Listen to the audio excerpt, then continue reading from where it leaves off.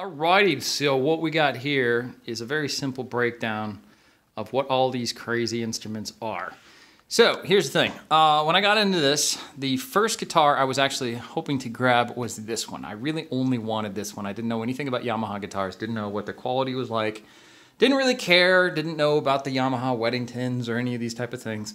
But what I did want was a blue Saraceno because I'm a huge fan, um, and I wanted this particular instrument. So this was always one of the bucket list items um, that I wanted, and I got this one. So this one right here was one of the very last ones that I actually got.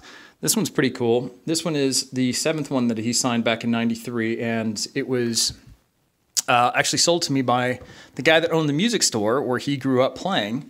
And that guy also was his first manager through the Never Look Back Plaid albums. Um, you know, it was pretty cool that he was actually involved with that. So I got to know him. He's a really nice guy. So let's go over some of the details that make these things kind of wild. So this is technically the first guitar I got. Now this is an RGZ 820R, okay? Um, and what we're gonna do is just really just kind of give you the explanation of what all those little acronyms mean. Um, so the letter identifications of what they are is this. And let's just start with the basic one. So this one, well, let's, let's just start with the most complicated one actually. So this one right here is what they would call the flagship. And this right in the back, let's take a look at the name here. Um, that says 821DMR. And what that means is it has direct mounted pickups. So that is what the D means. The M is what stands for maple fretboard, okay, versus rosewood. And then reverse headstock, that's the R, okay? Now, all of these guitars, with as expensive as they can be, this one was, I think, a $1,000 model uh, for what it was. Every one of these things have these badges, okay? This little oval badge, if you ever see it in pictures nobody ever takes a look at it, you can see that this was made in Taiwan, okay? But it was a incredible guitar you know, with uh, the same Japanese precision, and the factory was, you know, very, very well uh, maintained by the luthiers, and it's just the incredible instruments. But that was considered to be the top of the line of the RGZ series with that particular headstock and that particular logo. Now, one of the first guitars that I actually got when I started going nuts on reverb was this guy. This is still technically an RGZ series. Totally, totally different headstock. Completely different. I don't even know why they call it an RGZ. They should have just called it something totally different. But this right here, the reason I was interested in this one uh, is because of this reason. You can see it has the Gotoh tuners and also says made in Japan. So this is a Japanese made RGZ 3, okay? It's not a 321, it's not a 3 whatever, it's literally a 3. So that's what they made this one. Now, they would actually consider this one to be a fairly intermediate uh, particular guitar. I played it. Uh, the stock pickups are crap. They're just. Eh. Now this, I think uh, the guy that upgraded, put a super distortion in. It's just, a, it's a strange guitar. I feel like the the profile of the neck is a very different one. Um, it's not something that resonates with me, so I really haven't put a lot of time and, and, effort into it. Probably could throw some other pickups in it and see what happens, but I just kept it, um, you know, usually for reference. Now, let's go to the order. Now that we know, for example, this one. Uh, this is a very strange one. This one is a 721 DMR. Now, one of the neat things about this particular instrument is that it's got the same type of scallop frets on these last five frets here. Okay, it's got the offset um, uh, mother pearl inlays, or I'm sorry, abalone inlays, and this one also has the reverse headstock. And let's just look at it right here. One of the dead giveaways, if you're ever going to look at it. See if I can get the light on there. Okay, see how it just says Yamaha on the back of this right here on the tuners? That right there means that is going to be a Taiwan made. Okay, it does have the stamp of Yamaha, but it does not have the made in Japan. And you can see here, it has that badge. Okay, so we know that that's made in Taiwan. I will compare this just because I have to put them side by side. These are both technically very similar, but you can see the one on the right looks gold and the other one looks silver. That's because the one in the gold, and I actually changed out hardware from silver, or actually it was black. I changed that to gold because it looks gold and it just looks cool. But that one right there, if I take off um, that cover right there, you can see it's the same color as this. So it's the age of the glue, and that glitter that's actually in these bodies is just the same type of glitter that you used in uh, in elementary school to make uh, projects. It's, it's a very simple glitter flake. It's nothing special. They literally just put probably tack adhesive all over the body of this thing and then just dumped glitter and then just shook it off. so it's kind of funny to look at it in some ways, but I think this thing is the jam. It's a great, amazing playing instrument and everything like that. So I, I, particularly love it. Now, the original pickups that came with this, this is stock. I just put another cover over that. Uh, I put some Evos on this from a gym that I got, and it's just an amazing sounding guitar. But the original ones, uh, they were kind of a cream color, and it didn't make sense. So the knobs were cream, and these were cream. Um, it just didn't really fit the body of the guitar, so I swapped it to this, and now it looks like it's insane. All right, so now we'll talk about the order of how they work together. Now, the, the numbers to define them, uh, actually we'll start over here. This one actually is probably, I would say, the lowest grade of all of them. And I know this is strange, but you can see that there's a big, huge, I'm restoring this guitar because it's all busted. But you can see that it's going to have a pickguard on it, and it's got a humbucker and then a single coil humbucker. So it's an HSH setup. Uh, it's got a pretty decent trim. The tremolo is not anything uh, to write home about. I think it's like a TRS 101. So it's kind of the entry level trim. So it's not the greatest, but the neck is really nice. Um, the hardware, you can see it's just chrome. You can see how it's got the Yamaha stamp on it. And then this one right here is an RGZ 321P. The P means pickguard. Okay, so this is a similar one. This is actually uh, the, the, the 421s, the difference between the 421s and, and the 5, uh, and I think actually this is a 5 or 6. This might be a 621. Yeah, this is a 621D. Okay, so they do make a, a, another level uh, 521 that's in the, uh, the line. I don't have that one. Um, but this one right here is probably upper middle. So this one has an HSH as well, but these are the direct mounted pickups. So that's what the D stands for okay? Now, I don't know why they didn't put an R on here. Well, that's stupid. It doesn't have a reverse headstock, but anyways. But you can see, that's what I was talking about with the color change. Um, so the, the clear coats definitely uh, got affected by sunlight, so you can see what that is. But anyways, so this one right here is a 621, um, but at C, you can see those five scalloped frets and the offset um, fret markers. So that's that. All right, so this one right here, this one's a very, very special one. This is a cool. I got a bunch of these instruments. So this one right here is a 621, okay? Um, and then this would be an R. So that's what this would be. So let's flip this guy over. We should be able to see, and I forgot, I'm sorry, it's got an RGZ 621P-R, which means pick guard and reverse headstock, okay? So that's this particular guitar. And then we'll look at this guy. Now this one you would say is pretty much exactly the same other than the crazy sparkly finish. This one, however, has the same label.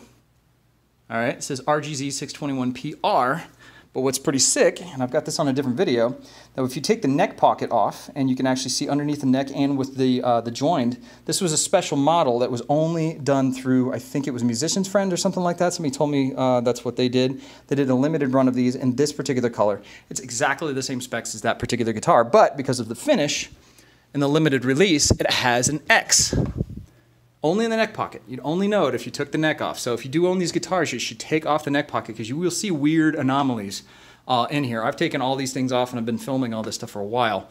Um, but anyways, there's there's some weird discrepancies between this. Some will say RGZ, some will say RGX. And again, I don't understand the main difference between those. So this one right here, this one's also a very cool one. It's got Let It Rock. Now this one's just rad. The color is just insane. Um, I got this one from Japan. It was on an eBay uh, ad that uh, is one of those eBay ads that's like the, they use the same exact stock photos for like 12 different ads, so you think that's got to be a scam. It actually didn't turn out to be a scam. It was just like multiple sellers trying to sell it out of multiple sites. So whoever sold it won. Now this one right here does not have that stamp. So you're thinking, hmm, this one's made in Japan. All right, what's the difference between that and this? Well, check out the headstock, just when you're shopping. It does not have the Japan logo on it. Now this one says, oh, YG621. Now it doesn't have the P, and obviously it's not a reverse headstock, so it doesn't have the R, but it should at least have the P. So there's discrepancy number one, okay?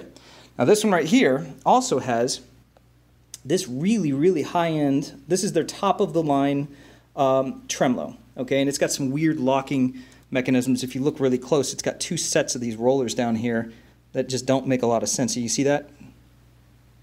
You're not going to see that on trims anywhere. They're very weird. But what they do is they lock the intonation in place so they don't ever slip. So it's kind of a cool feature. And also, look at the size of those Allen things right here. I mean, they're massive compared to these right here. Those are like the normal size. This thing is like, what's up? That's huge. So anyways, that particular guitar is a YG.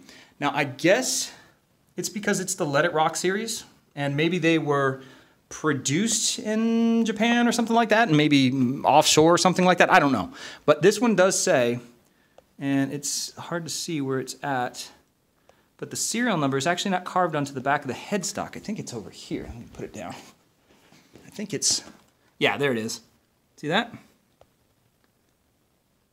Made in Taiwan. It's upside down. See if we can look at it better. But it's a stamp on the body. There you go. So it's made in Taiwan. That's the actual stamp. So that is another huge discrepancy between where this was made and what Taiwan uh, factory and all that kind of jazz. So now let's go to the next one. Now this one right here is uh, considered to be one of the top of the line guitars as well. It's very similar to this one. This is the highest end model that they made for the RGZ line. Uh, this one right here uh, was very, very similar as well. It still had the same upgrades as far as pickups and hardware and everything else. But you can see this one, it says just the Yamaha TRS Pro, okay, which is probably as close to a Ibanez uh, Lo-Pro uh, as you can get. It's a very, very good trim. It locks really well. This one was beat to hell. Somebody even put a MIDI pickup here, as you can see the screw holes. Uh, I got this one from Russia, which was really cool, for about 300 bucks. Uh, cleaned up, restored it, uh, and again, it's got the um, abalone uh, offset and the scallops right there on the last five. These, same thing, abalone. Now this guitar, if you want to just look back at it real quick, regular dots. Nothing abalone, just mother of pearl, but they are the same type of setup, but that's a lower end version. Okay? Now, when we look at this particular guitar, this one has a different pickup configuration. Obviously, since we are still learning in class, we know it's not an R because it doesn't have a reversed headstock. It doesn't have an M, so it's not a maple fretboard. And so, what is it? This one is a 612. Okay, so it's an RGZ 612P. P meaning what? Pickguard. Yep, exactly. So this one is a very, very cool guitar. Uh, when I took the pickguard off, it actually has the same cavity as um, the this guitar. So you could actually throw that pickguard into this guitar and it would work exactly the same, and that would just can turn it from a 612 to a 621.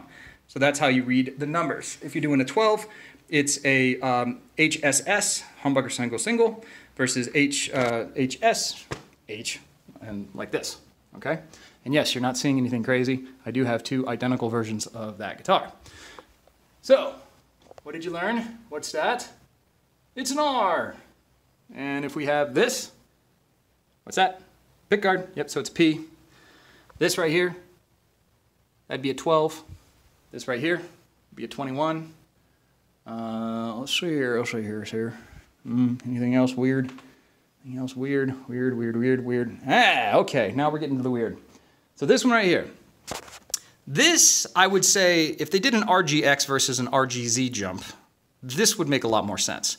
Because this one right here, totally different headstock design, different you know, body, different everything like that when you put them side by side. Now, I actually did this swirl, this guitar looked very, very similar to just like one of these guitars. It had a, just a basic red paint job, nothing special. Uh, I think it was actually this color when it started. Um, and I completely restored it and, you know, changed the pickups. These are parallel axis pickups um, and an Evo in the neck. But that one's a really, really cool one. Uh, on that video Lost, I, I, featured this guitar and the tone on this thing is sick.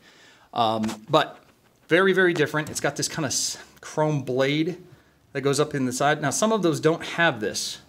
What this actually refers to, which is the Keep on Rockin' Rolling, produced by Yamaha, okay?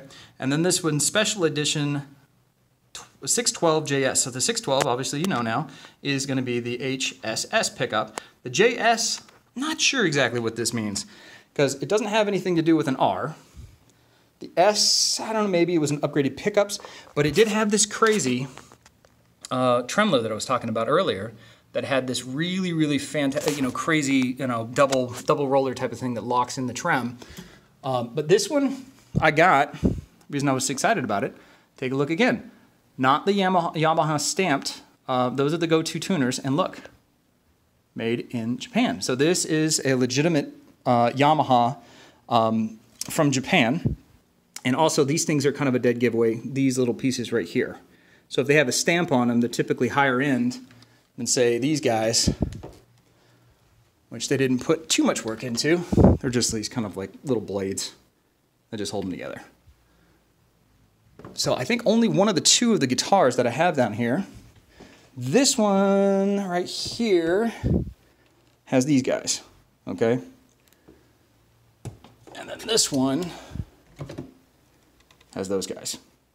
So I don't know what the, the big difference is, even though that this is the more higher end, more expensive guitar than that one. They just chose to use those parts. I guess it's just a different, uh, different, different machine that cut them. All right, so to finish this whole thing up, let's talk about the Japanese versus the um, Taiwan-made RGZs. Okay, the RGX series. Uh, some of these actually are RGXs. Uh, just a couple of them. Like for example, that one's definitely an RGX. Uh, but I do have another one. I'm not 100% sure.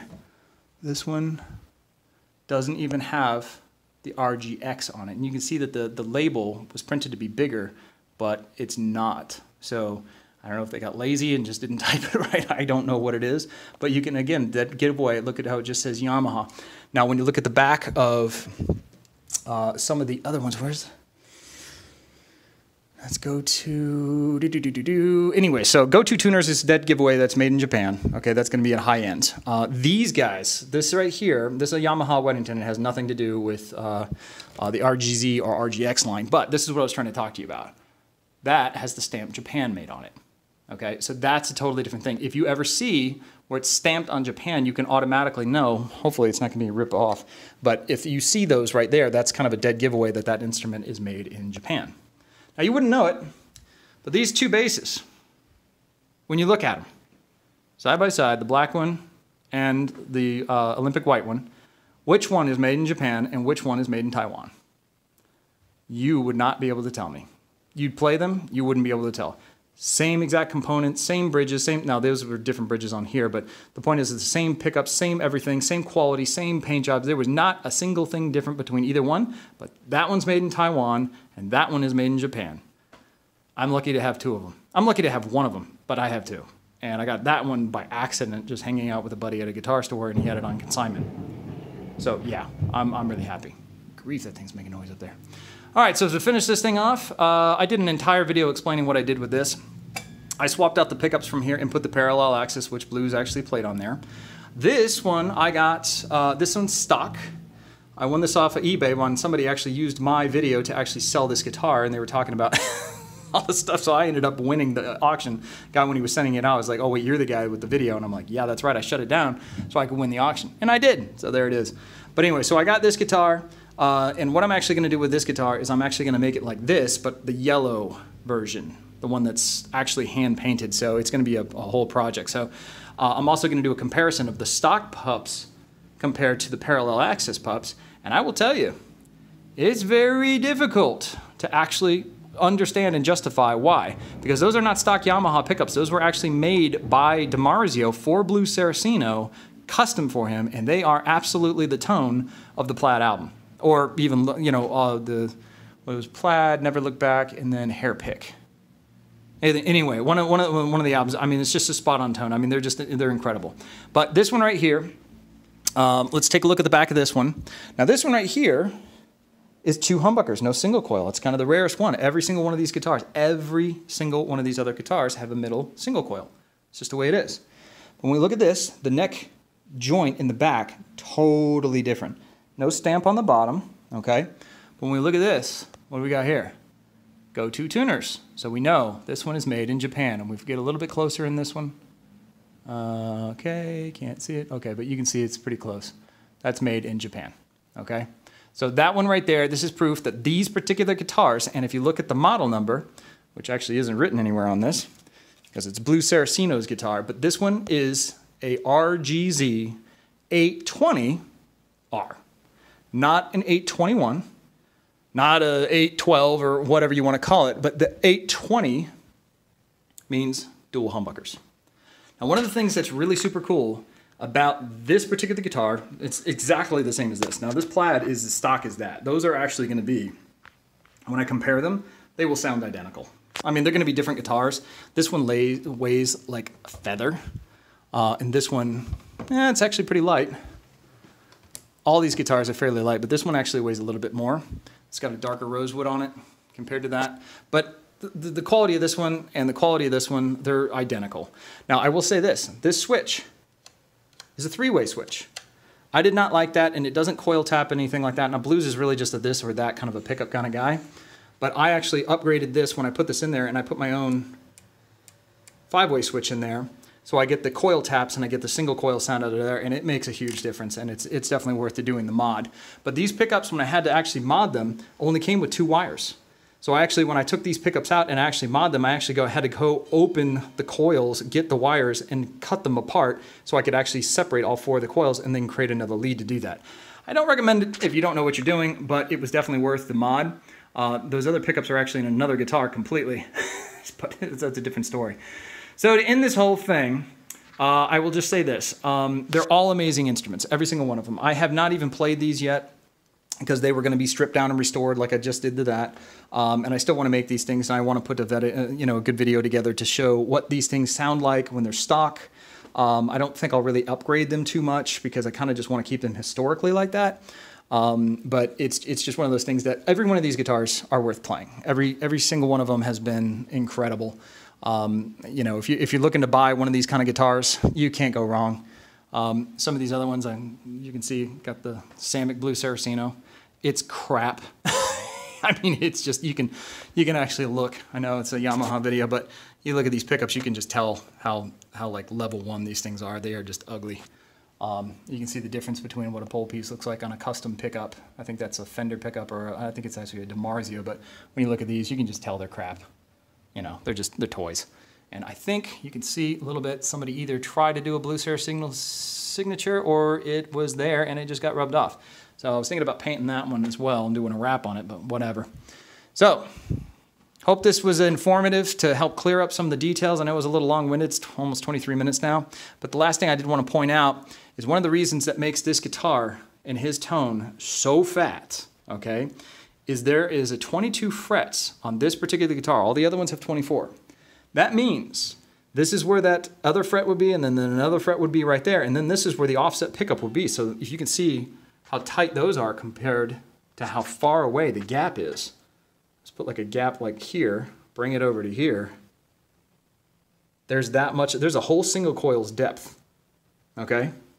A whole single coil's depth between that. So he gets to put that other, that tone a little bit further up. And if you ever know about when you're picking on strings, if you pick farther up, you get that deeper, thicker, fatter sound.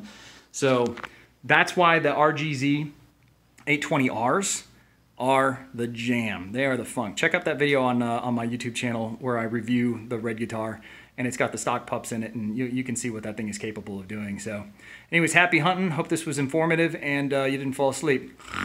Later.